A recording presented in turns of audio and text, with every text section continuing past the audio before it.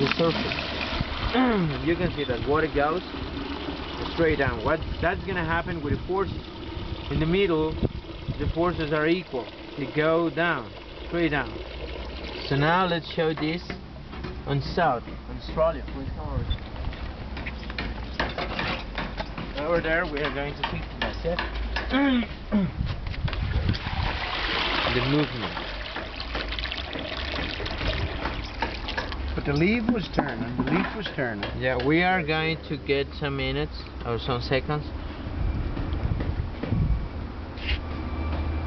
So in out. hurricanes are gonna turn.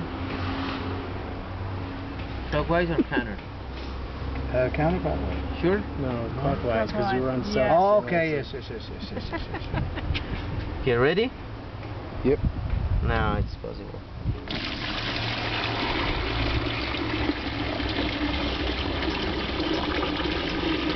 At that. That's the movement of hurricanes on the south side in Australia. Clockwise. So now let's go to Canada.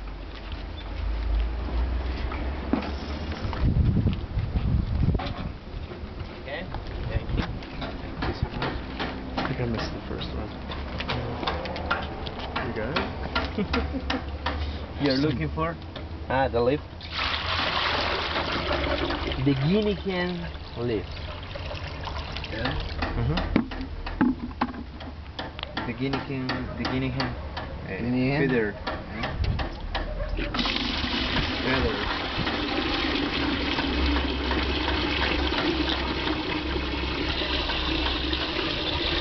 Scandal.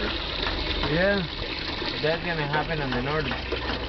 And over here you can see the red sign, the scientific reason about this acceleration of Coriolis.